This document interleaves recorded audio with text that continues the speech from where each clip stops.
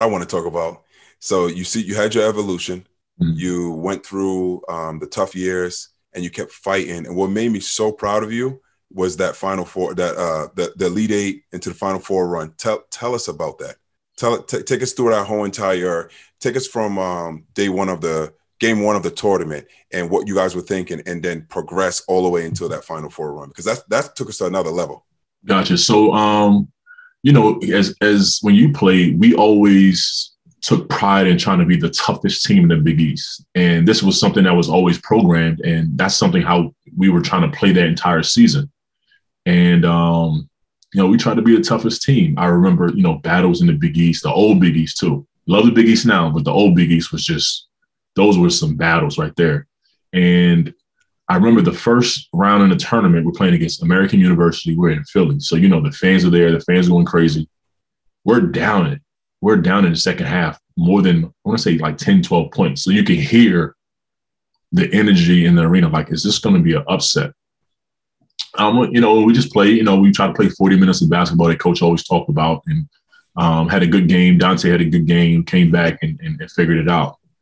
Um, the next game, this was like, uh, there was some talks about, you know, us playing, you know, UCLA, who, who you know, who's a, who's a blue blood.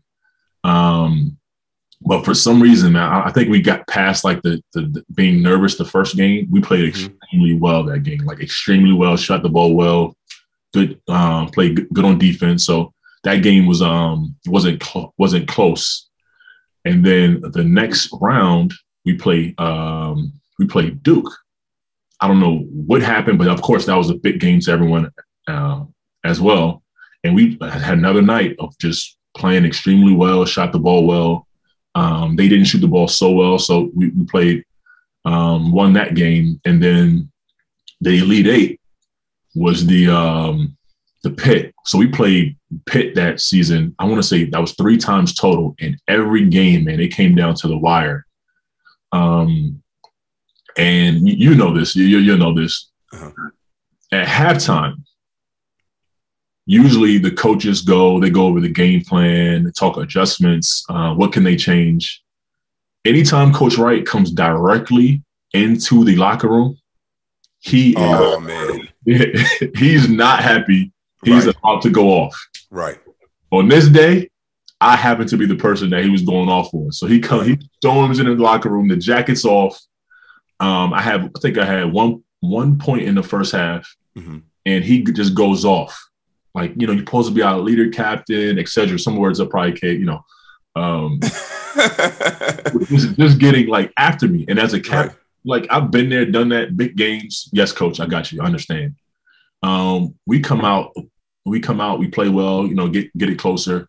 I think at the end of the almost two minutes to go, we're down four you can hear the energy like, oh, we're about to lose this game. I get a still a half court mm-hmm. in one.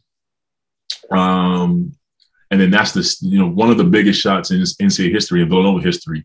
Kris Jenkins is obviously number one, but Scottie, right, right. Scottie's shot to put us up. I want to say one or two to win that game was yes was just something very special to be a part of. Um, but you know, for me personally, I had I think I ended up, ended up with 18 or 19 points. So yeah, you were amazing. Yeah, big, amazing. But but you know something that you know those open gyms and St. Mary's and practices and all that that prepares you for that moment. So it was pretty pretty cool to be a part of and something I could share and watch with my um, sons when they grow up. My sons are four and four and two right now, so uh, can't wait to to get to experience that when they can see. You know how like the jerseys now are like tight and the shorts. Right, right, right, right. It's funny looking at us when we played. It's like how did how did you play in these these baggy uniforms. Right, right. Like probably jumped higher. So it's pretty cool. That's nice. That's nice. I remember where I was. I remember where I was. Um, I was with the Globetrotters, and you guys, if you remember, before Scottie hit the shot, it was a timeout. Yes, so I remember watching it. So we're we're at the game. We're we're at the game. I want to say Houston. I want to say we we're we're at, at the Rockets Arena, and we're there and I'm on a bench because you know with the Globetrotters, you have your reams, is what you call it, or your skits. And you run through your ream, and then you know when you're next up. Right. Right before that, it was a Cupid shuffle that we all get off the bench. Like so, so, so uh, someone makes a move in the game, and he goes, "You know what? It's break time." And then we and down, down, do your dance, do your dance, and then and then we jump up off the bench, right? So it, the clock was frozen. And remember, when you look in the arena, you don't see they don't show you the play. You'll just see the score tied or you down one, up one, and then all of a sudden the score changed, right? So it said uh, um, it, all of a sudden everyone and everyone's watching because this NCAA tournament, right? So everyone's there enjoying the game, but even the fans there are taking note to the score. All of a sudden, it was multiple. It was a, a, a I want to say two scores up there. Then you see the Villanova one. Then it showed us up, and it just said down, down, dude. I jumped up and I was yelling to the right, to the right, to the right. Hype. I'll never forget that because Shagari Alleyne, who went to Kentucky, he played with Rondo. He's from New York. I want to say he went to Rice um, High School. He was on the team.